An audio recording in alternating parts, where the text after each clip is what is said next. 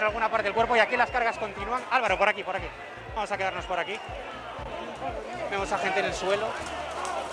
Algún compañero también periodista que se ha llevado algún golpe, Luis. que ha sido ayudado por, por otros compañeros.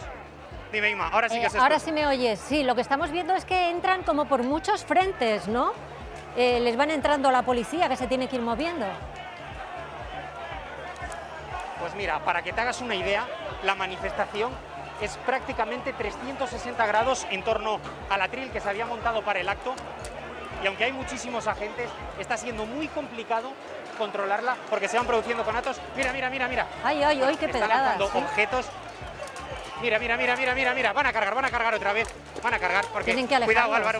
Vuelan todo tipo de objetos. Estamos viendo, estamos viendo piedras, estamos viendo latas, estamos viendo absolutamente todo tipo de objetos contundentes. Y aquí esperemos que la cosa no vaya más porque se está poniendo muy peligrosa. Mira un ladrillo en el suelo, ¿lo ves? Míralo. Sí, sí, me ha, me parecido como que daba Bueno, están también a un piedras. compañero con una cámara.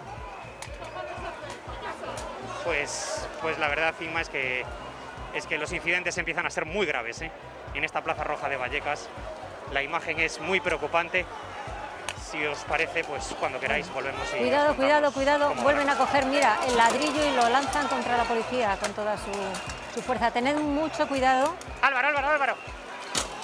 Álvaro. La policía está cargando de nuevo, intentando separar del lugar donde están ahora mismo los candidatos de, de Vox eh, hablando en ese pequeño atril.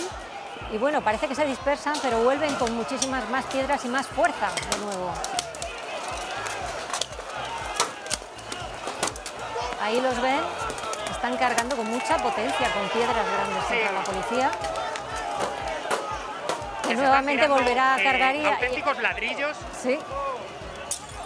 Tiene que retirarlos y de ahí, claro. Es que, es que, bueno, pa- parece, bueno, no se ha caído una piedra de milagro, parece imposible que no haya más policías heridos.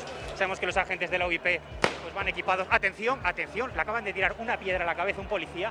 Están lanzando desde muchos puntos. Vamos a venirnos un poco más para atrás. Estamos escuchando también algún tipo de detonaciones, no sabemos si de la UIP para disuadir a los manifestantes o de los propios manifestantes, en este momento no os lo puedo decir. Fíjate la cantidad de